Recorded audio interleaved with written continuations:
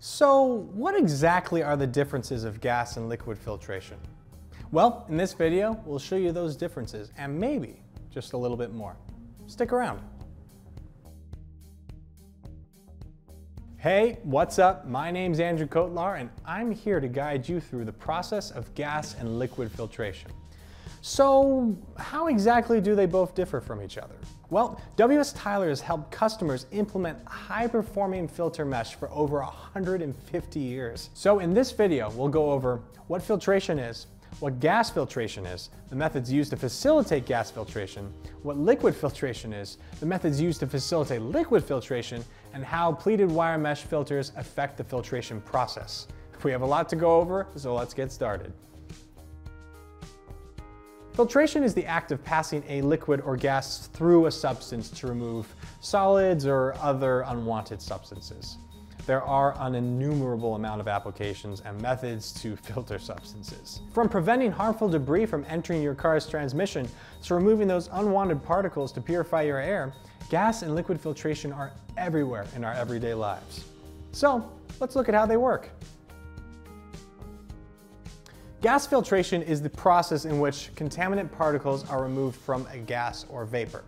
Now, there are several ways to remove particles from gas. There's the Brownian motion method, electrostatic, locking effect, inertial, and sieving effect.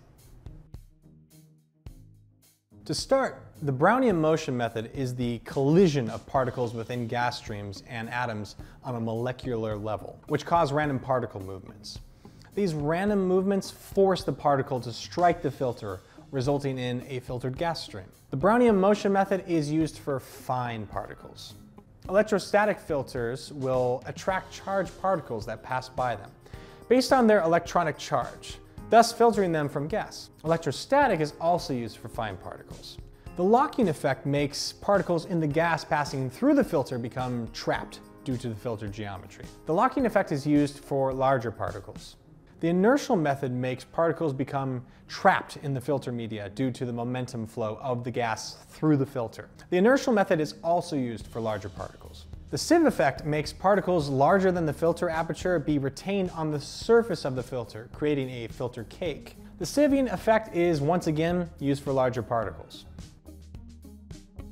Liquid filtration is the process in which contaminants are separated from a given liquid to either purify the liquid or extract the solids to form a filtered cake.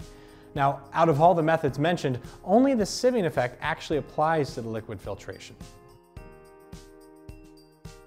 The sieving effect is when the liquid is pressed through the screen and the impurities or solid particles collect on the filter screen. So the filtrate or a filter cake can be retained depending on the need.